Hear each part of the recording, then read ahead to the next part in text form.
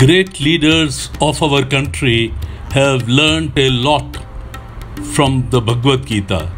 In fact, they have lived Bhagavad Gita and certain uh, lessons they have imbibed in their personality totally. Sacrifice for the nation is foremost, that's what is taught in the Bhagavad Gita.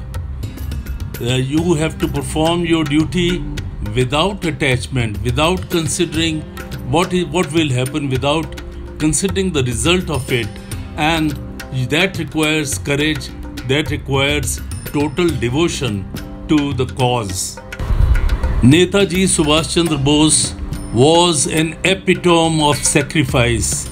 Total, one would say that he is an embodiment of sacrifice, and that is clear because when he had already qualified the ICS examination, he could have lived a very comfortable, uh, respectable life, but he chose the other path.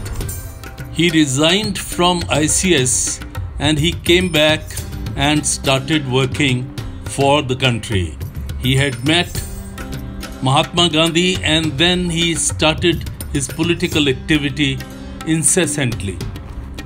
The British government put him in jail for as many as 11 times for his activities, but he would not relent.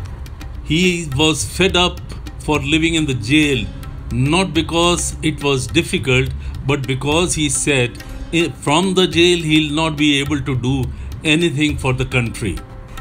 He felt that rotting in the jail he'll not be able to do anything. So he started hunger strike, fast till death.